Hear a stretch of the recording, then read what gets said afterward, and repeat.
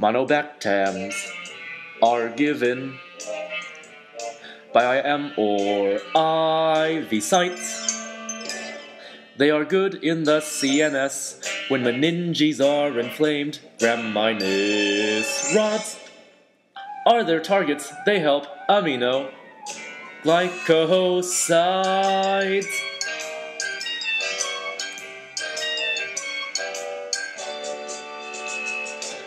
Monobactam allergies are like penicillin ones.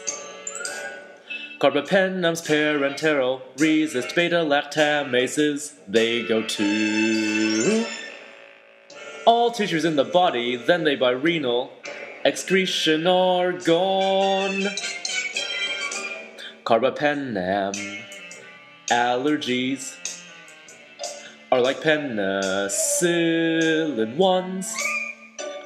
They also cause GI distress, headache, vertigo, tremor, confusion, and seizures with renal failure, imipenems given with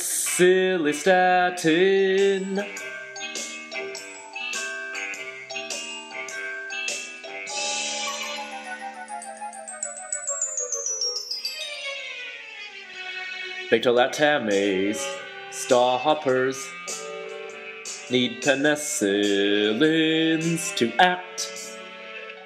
They fight gram plus and minus and are oral or parenteral. They extend antimicrobial spectra of the broad penicillins.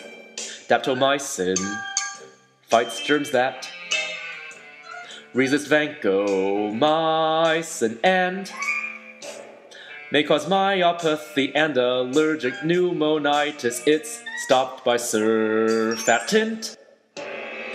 Fofsomycin stops peptidoglycan synthesis and may cause vaginitis and GI distress. It's used for uncomplicated UTIs.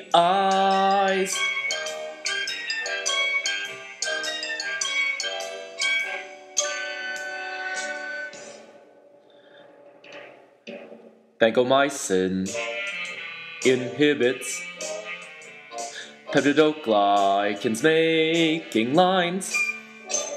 It's given by mouth or IV and is good in CSF with meningitis. It can cause allergies or red man syndrome, gram plus germs. It fights.